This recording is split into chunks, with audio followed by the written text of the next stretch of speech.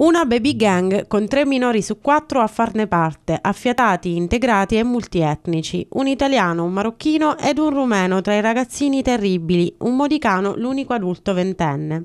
La notte di sabato avrebbero voluto razziare merce di vario tipo nel supermercato Despar di via Buonarroti a Ragusa organizzati e determinati, muniti di attrezzi per ogni evenienza. Hanno manomesso la telecamera di videosorveglianza, quindi hanno forzato l'ingresso e si sono introdotti all'interno.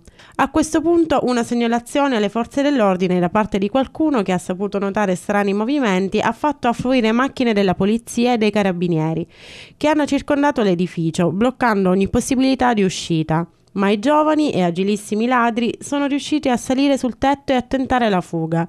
Dopo un rocambolesco inseguimento sono stati bloccati e immobilizzati. I tre minori sono stati avviati in un centro di accoglienza, mentre il ventenne è ai domiciliari. Un furto è avvenuto inoltre durante la notte al punto SNAI di Via Archimede a Ragusa. Secondo una prima ricostruzione, i malviventi sarebbero riusciti ad entrare all'interno del centro, che è dedicato alle scommesse, e avrebbero raggiunto le stanze più interne dove sono temporaneamente depositati i soldi delle giocate.